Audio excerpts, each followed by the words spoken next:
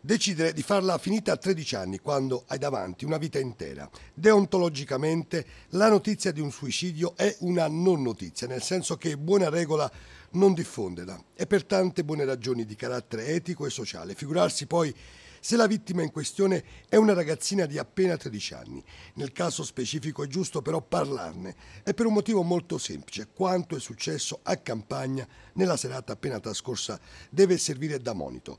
La tredicenne infatti ha pianificato tutto, ha appuntato su un quadernino che aveva sempre con sé tutti i passaggi del suo disagio interiore, disagio accertato, visto che era in cura da uno psicologo. E poi questa lucidità, questa fermezza fa spaventare, preoccupa, tanto più che negli ultimi tempi l'adolescente si era lasciata andare a gesti di autolesionismo che avevano preoccupato e non poco i genitori adottivi. Tanti strani pensieri fino ad arrivare alla decisione estrema. La ragazzina ieri sera ha scavalcato la ringhiera del balcone di casa per poi lanciarsi cadere da un'altezza di 5 metri.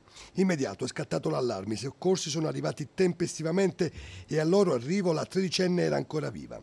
Sul posto l'ambulanza della Croce Amica di Oliveto Citra con il medico rianimatore che ha trasportato la tredicenne dal quadrivo di campagna di dove si era consumata la tragedia al vicino ospedale di Eboli. Una corsa contro il tempo per far arrivare prima possibile la ragazza al pronto soccorso.